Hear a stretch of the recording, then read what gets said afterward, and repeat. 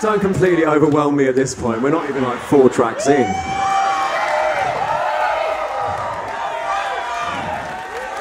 This next one is called Volatile Times because we live in them.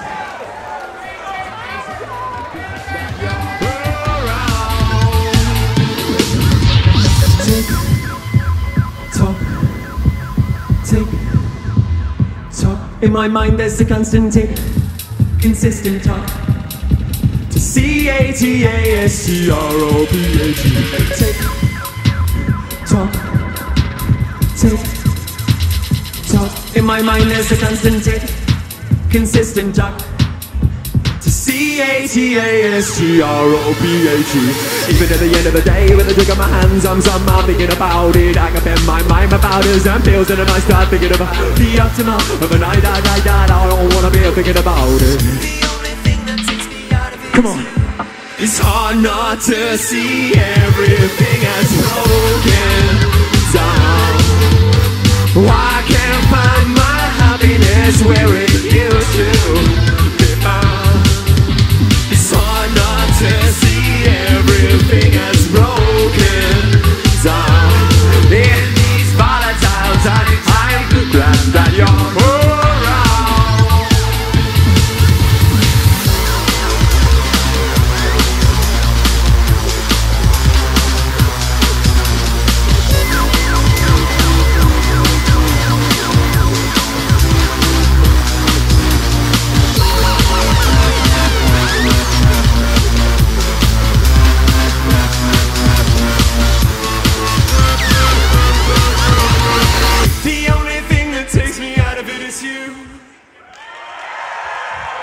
Thank you very much. Some of you may know that I was in a band called The Correspondents for 13 years. Yeah. And you also may know that my, my bandmate, Chucks, from that band, very sadly died in October 2020.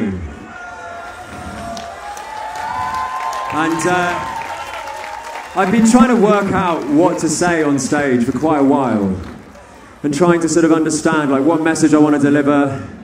And I've been, quite frankly, completely overwhelmed at this festival because I mentioned him last night and I had so many people coming up to me and saying, telling me about their grief, about people they've lost in any capacity. It could be the end of a relationship, it could be someone dying, whatever it is.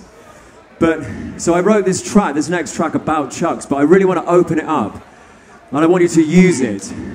Because every one of these people who came out to me said, I really used your song. And that's what I want you to do. I want you to fucking use it. Okay? I don't want to take you down. This is actually a massive celebration of his life. So this is called Where Have You Gone?